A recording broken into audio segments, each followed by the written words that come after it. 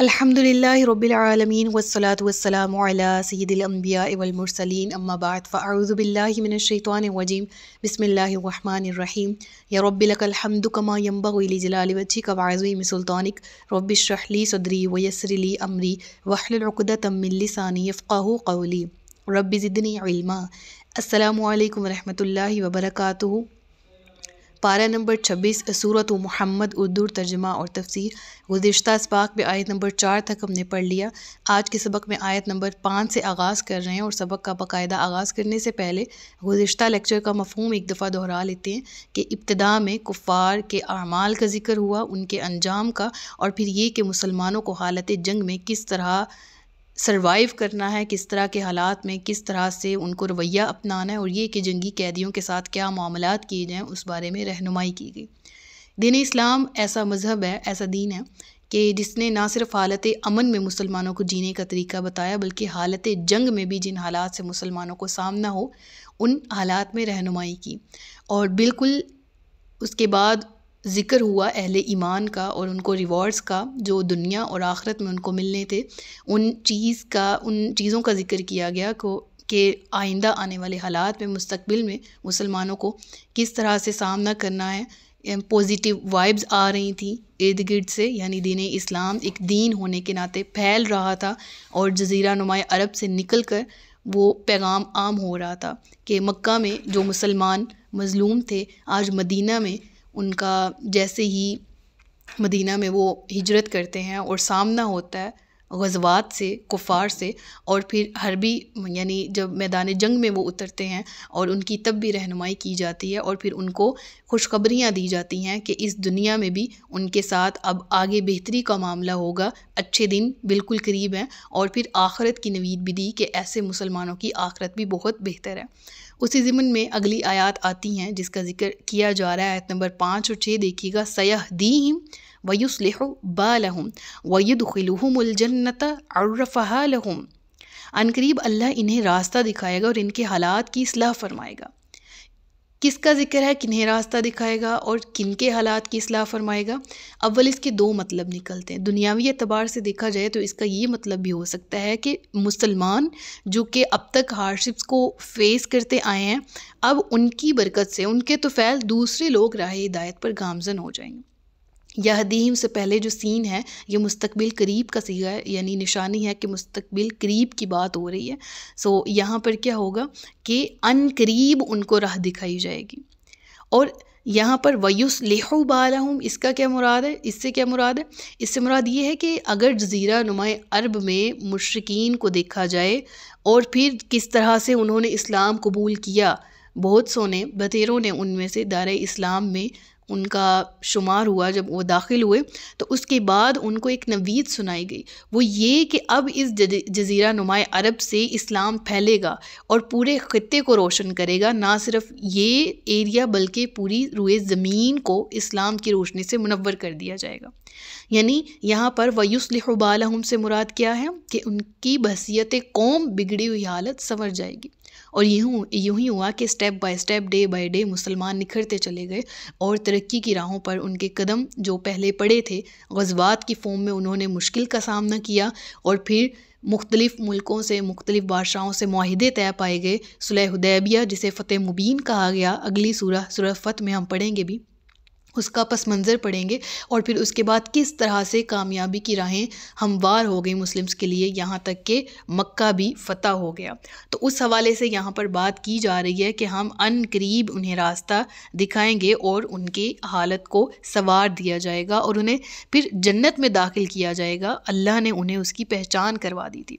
अब यहाँ पर मुराद दूसरे मायने भी लिए जा सकते हैं, यानी जन्नत और रज़ाए इलाही की जी शान मंजिल तक उन्हें रसाई हासिल हो जाएगी, जो दुनिया में अल्लाह की राह पर गामजन रहे।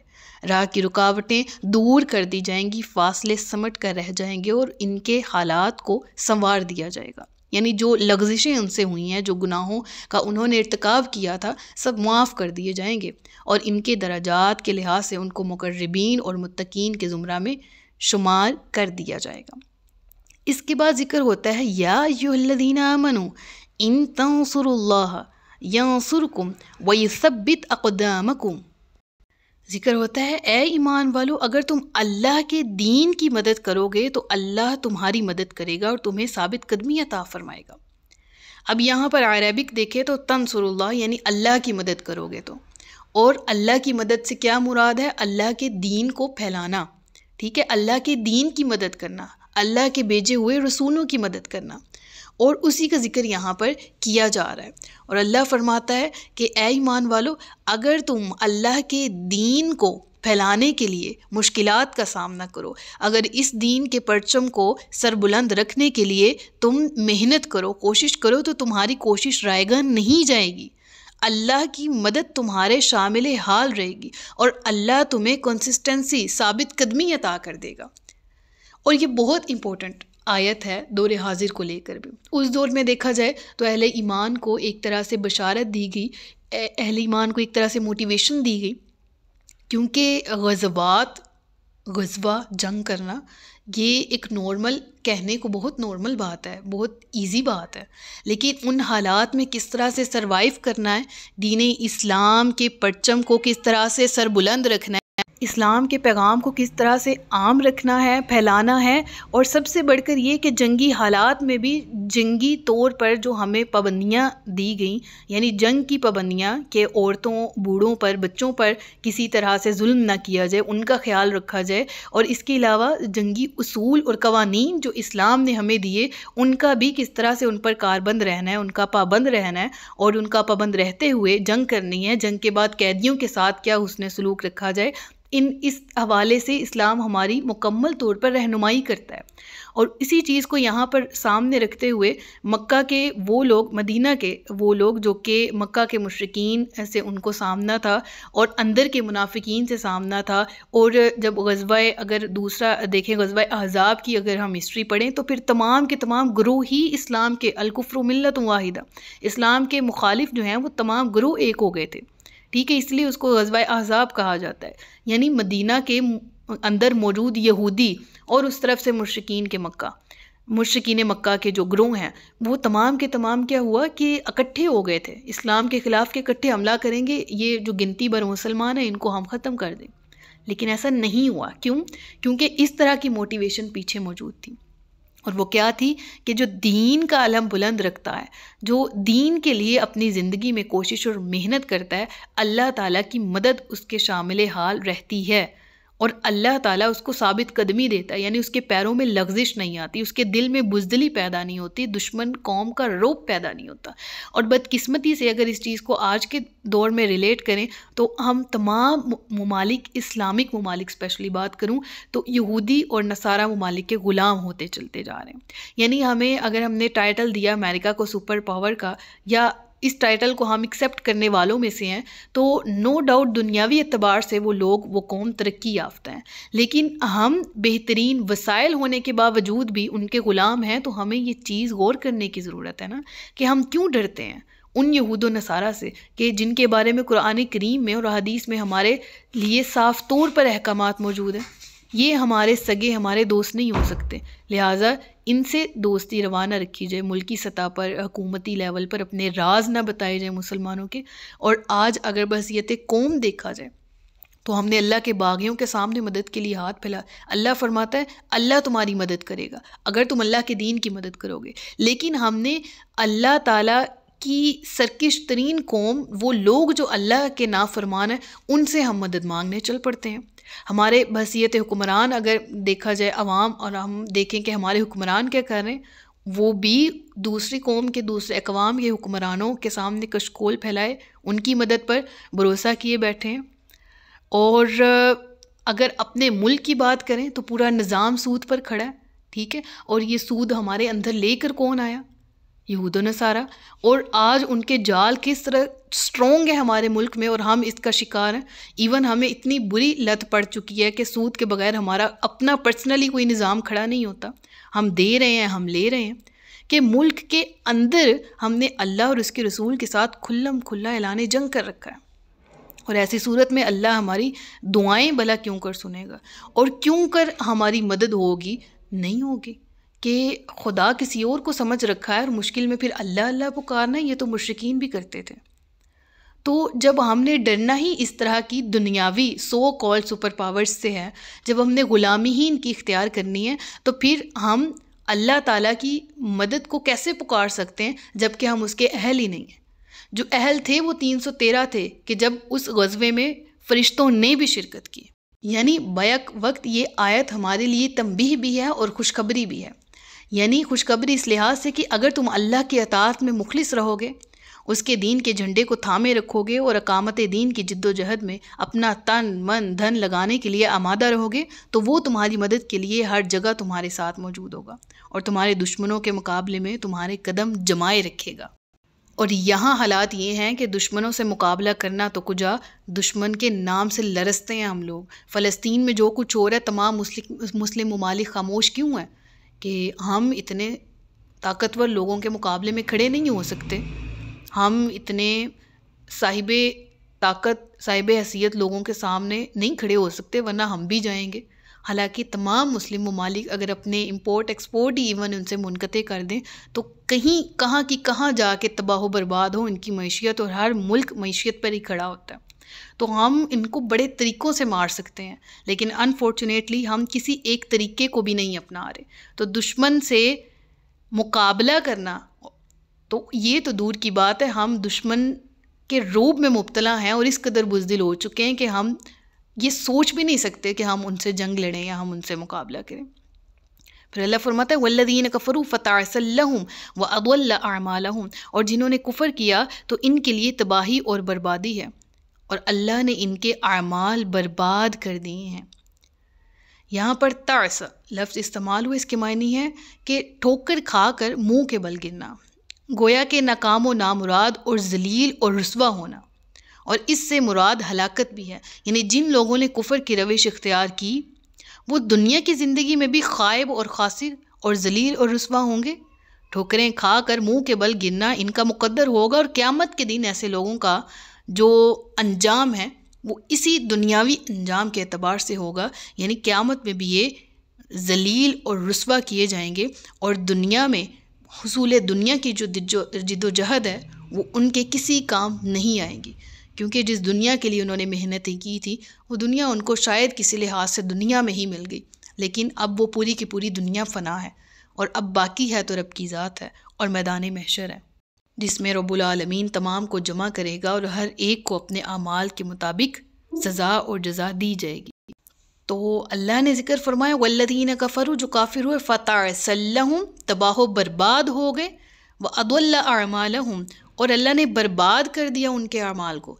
देखिए, यहाँ पर दो दफ़ा ज़िक्र आया। एक तो इस सूरा के बिल्कुल आगाज़ में कि कुफ़ार के अमाल बर्बाद कर दिए गए, और उस पर हमने तफसीरी बहस की थी कि किस लिहाज से उनके अमाल के बर्बाद होने का ज़िक्र है। अब यहाँ पर दोबारा ज़िक्र है कि वो लोग जिन्होंने कुफ़र किया तो उनकी, उनके लिए तबाही और बर्बादी और अल्लाह ने बर्बाद कर दिया उनके तमाम के तमाम अमाल को तो इससे मुराद क्या है? अगर देखा जाए ना तो मुश्किन मक्का, हाजी जब आते थे ना खाना कबा का हज करने तो उनकी बहुत खातिर तोज़ो करते थे। अरब कौम, मेहमान नवाज़ कौम थी। गरीबों को खाना खिलाना अपने लिए बायस फ़ख्र समझते थे और अपने लाइक उनके अंदर कुछ कदीम रिवायात मौजूद थी, जिनको वो नेकी के नाम पर अपने लिए काफ़ी समझते थे। तो अल्लाह फरमाता ऐसे लोगों के नामा अमाल में जो नेक अमाल होंगे ना, वो भी सब के सब ज़ाया कर दिए जाएँगे। जैसे मुश्किन में से बाज़ लोग गरीबों को खाना खिलाते और हाजियों की मेहमान नवाजी का खसूसी अहतमाम करते थे और समझते थे, वो बहुत बड़ी नेकी के काम कर रहे हैं। और ऐसे ही लोगों को सरत तौबा की आयत नंबर 19 में दो टोक अंदाज में फरमाया गया अजाल तुम सिकायत अलहाज व इमारत मस्जिद हरामी, कमन आमन बिल्लाखिरी वजाहद सबीर कि क्या तुमने हाजियों को पानी पिलाने और मस्जिद हराम को आबाद रखने को बराबर कर दिया है उस शख्स के अमाल के, जो ईमान लाया अल्लाह पर और योम आखरत पर और उसने जिहाद किया अल्लाह की राह में, की राह में? यानी यहाँ पर जो चीज़ ज़िक्र की गई, वो वाज अंदाज में ये है कि रबुल आलमीन ने फरमाया कि बसीत कौम इनके जो खसाइस हैं और जिनको ये नेकी समझते हुए अपने लिए काफ़ी समझते हैं, इनके ये आमाल भी बर्बाद हैं और वजह क्या है कि इन्होंने खालसता मुखालफत की, अल्लाह की और उसके रसूल के अतात की और इन्होंने मुखालफत की अल्लाह और उसके रसूल के पैगाम की और यही अंजाम है कि जिससे इनको दरकिनार किया गया। ये अंजाम है कि जिनका इनको सामना करना है, दुनिया में भी और आखिरत में भी। और उसी वजह का ज़िक्र यहाँ पर है ज़ाल कभी अन्नहुम करी हो मानजल्ला ये सज़ा इस वजह से है कि उन्होंने अल्लाह के नाजिल किए हुए को नापसंद किया। फ़ाह बात आमाल तो अल्लाह ने इनके अमाल ज़ाया कर दिए। फिर ज़िक्र हुआ, फ़लम यसीर फ़यांज़ुरू कई फ़काना आक़िबतुल्लज़ीन मिन अल्लाहु अलैहिम। वलिल अमसाल अमसालुहा। तो क्या उन्होंने ज़मीन में सफ़र ना किया? तो देखते कि इनसे पहले लोगों का कैसा अंजाम हुआ। अल्लाह ने इन पर तबाही डाली और इन काफिरों के लिए भी पहलों के अंजाम जैसी बहुत सी सज़ाएँ हैं। इन्हें ख़ुद को बहुत बड़ा ताकतवर समझते थे ना कि हम मुखालफत कर रहे हैं तो शायद एक दिन हम कामयाब हो जाएँ, क्योंकि तादाद में हम ज़्यादा हैं। तो अल्लाह फरमाता है, क्या उन्होंने इर्द गिर्द नहीं देखा? क्या उन्होंने अहकाफ़ नामी बस्ती नहीं देखी, जिसका ज़िक्र गुज्त सूरत में मौजूद है? क्या इन्होंने कौम लूत नहीं देखी, क्या कौम आद नहीं देखी, क्या कौम समूद नहीं देखी, जो ताकत में इनसे कई ज़्यादा थे? तो अल्लाह ने उनको तबाह कर डाला। और काफिरों के लिए इस अंजाम की मिसल बहुत सी और सज़ाएँ हैं। और फिर इसके बाद एक और रीज़न बयान हुई ज़ाल कभी अनल्लादीना मनु व अन्नल काफिरीना ला मऊला इसलिए है कि अल्लाह मुसलमानों का मददगार है और काफिरों का कोई मददगार नहीं है। और इस सिलसिले में मैंने एक शान नज़ूल ज़िक्र किया था, उसकी तफसीलात कुछ इस तरह से हैं कि गजब अहद जब हुआ था तो उस वक्त मैदान अहद में वक्ती तौर पर मुसलमानों को शिकस्त का सामना करना पड़ा था। तो इस दौरान रसूलुल्लाह सल्लल्लाहु अलैहि वसल्लम के कुछ सहाबा जबल अहद पर थे, रसूलुल्लाह भी उनके साथ थे। तो उस वक्त अबू सुफियान और खालिद बिन वलीद रदील्ला तु उस वक्त ये क्योंकि ईमान नहीं लाए थे तो इसलिए गजबा अहद के वक़्त, हज़रत खालिद बिन वलीद सुलह दैबिया के बाद और हज़रत अबू सुफियान फ़तेह मक्का के मौका पर बाद में ईमान ले आए थे। तो बहरहाल, ये उस वक्त मुशरकिन के ग्रोह में शामिल थे और इन समेत बहुत से सरदारान कुरैश पहाड़ के दामन में मौजूद थे। और इनमें से अबू सुफियान ने हजूर सल्लल्लाहु वसम को और मुसलमानों को मुखातिब करके बड़े पुरजोश अंदाज से नारा बुलंद किया था कि आलू हुबल आलू हुबल, यानी हुबल जिंदाबाद। आज हमारे लिए हुबल का बोल बाला हुआ। ये मुशकिन कुछ बुतों को पूछते थे, लात अलवज़ा अलमनात, हुबल हुबल इनका सबसे बड़ा सरदार बुत हुआ करता था। तो रसूलुल्लाह सल्लल्लाहु अलैहि वसल्लम ने मुसलमानों को हुक्म दिया कि वो इस नारे का जवाब इन अल्फाज से दें, अल्लाह आला व अजल यानी अल्लाह ही सबसे बुलंद मर्तबा और बुज़ुर्ग और बरतर है। उसी का बोल बाला है। इसके जवाब में अबू सुफियान ने एक और नारा लगाया, लना अलउज़्ज़ा वला लकुम कि हमारे लिए तो उज़्ज़ा जैसी देवी मदद के लिए मौजूद है, लेकिन तुम्हारे लिए तो उज़्ज़ा जैसी देवी मौजूद नहीं है, कोई उज़्ज़ा नहीं है। तो हजूर अलैहि वसल्लम ने मुसलमानों को इसका जवाब इस नारे से देने का हुक्म दिया, अल्लाह मौलाना वला मौला लकुम कि हमारा मौला, यानी मददगार पुश्त पनाह और कार सास तो अल्लाह है, जबकि तुम्हारा तो कोई मौला नहीं है। और उसी सिलसिले में यहाँ पर ये आयात मौजूद हैं, जिसमें ज़िक्र है कि अल्लाह मऊलदीन आमनु व अन्नल काफरीन ला मौला लहुम। बेशक सदक़ल्लाज़ीम व सदक करीम। सच फरमाया, अल्लाह ने जो असमत वाला है अपना बहुत सा ख्याल रखिएगा, मुझे दुआ याद रखिएगा। ताजदार ख़त्म नबूत ज़िंदाबाद। पाकिस्तान, पाइंदाबाद। असल वरहमल वर्का